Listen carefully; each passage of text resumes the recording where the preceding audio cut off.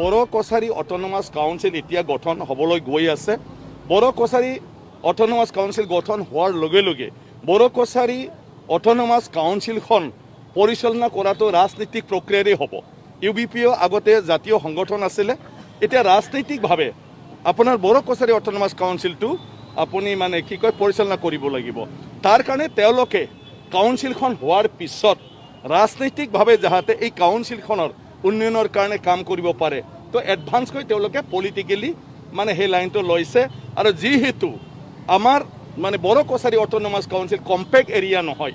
ধুবুৰীৰ পৰা চদিয়া চদিয়াৰ পৰা আপোনাৰ গোলাঘাট আৰু উত্তৰে আপোনাৰ শোণিতপুৰ লখিমপুৰ এই গোটেইবিলাক মানে ডিষ্ট্ৰিক্ট চিচৰিত হৈ আছে। তাত আপোনাৰ মানে যিটো ছেটেলাইট আপোনাৰ তৰাৰ নিচিনা এইটো মই তৰা ৰাজ্যই কৈছোঁ মানে বড়ো কছাৰীটো তত। গতিকে তাত নিজাববীয়াকৈ মানে পলিটিক্স মানে কৰিব নোৱাৰে বড়ো কছাৰী অট'নমাছ কাউন্সিলে সেইকাৰণে আপোনাৰ মানে কি কয় আপোনাৰ ৰিজনেল নহ'লে নেশ্যনেল এক্সিষ্টি এক্সিষ্টিং যি পলিটিকেল পাৰ্টি সেই পলিটিকেল পাৰ্টিত থাকিব লাগিব আৰু তেওঁলোকে তেনেকুৱা এটা পলিটিকেল পাৰ্টিৰ লগত থাকিব লাগিব যাৰ দ্বাৰা তেওঁলোকৰ অঞ্চলখন তেওঁলোকে সহজভাৱে মানে আপোনাৰ পৰিচালনা কৰাৰ ক্ষেত্ৰত আৰু বিভিন্ন উন্নয়নমূলক কাম কাজ কৰাৰ ক্ষেত্ৰত সফল হ'ব পাৰে। গতিকে আজিৰ দিনটোত যিহেতু বিজেপিয়ে বনাব কাউন্সিল আৰু বহুতখিনি কৰিবলগীয়া আছে তাত। কাউন্সিল মানে ইষ্টাব্লিছমেণ্টৰ কাৰণে অফিচ ছেট আপ কৰিব লাগিব কনষ্টিটিউঞ্চি বনাব লাগিব মানে অফিচাৰ তাত পঠাব লাগিব। বহুত ধৰণৰ কাম আছে। গতিকে সেই কামত অকল দাবী দি থকা মানুহ নহয় ফালে তেওঁলোকে পলিচিৰ মেকিঙতে সোমাই যাই ফালে কৰি ল'ব খুজিছে। গতিকে সেইকাৰণে ময়ে নাজানো এতিয়া বেলেগে ক'লে কেনেকৈ হ'ব?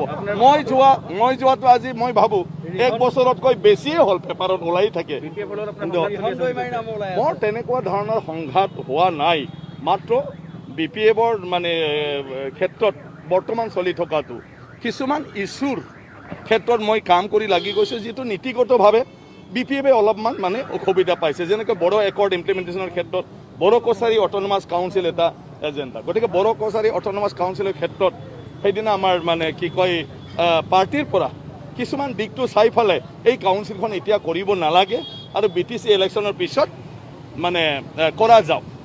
আৰু হিয়াৰ মই বিপৰীত এটা কিবা লৈছিলোঁ স্থিতি লৈছিলোঁ বড়ো কছাৰী অট'নমাছ কাউন্সিল এইখন চৰকাৰ থাকোঁতে হ'ব লাগিব কাৰণ আমি তেওঁলোকক প্ৰতিশ্ৰুতি দিছিলোঁ। গতিকে চৰকাৰ আৰু চাৰিমাহ আছে গতিকে চাৰিমাহৰ ভিতৰত গোটেই কৰিব যদি লাগে তেতিয়াহ'লে এতিয়াৰ পৰা যদি নহয় এইখন চৰকাৰত নহ'ব। আৰু এইখন চৰকাৰত যদি নহয় ভৱিষ্যতৰ কথা কোনে কি ক'ব পাৰে?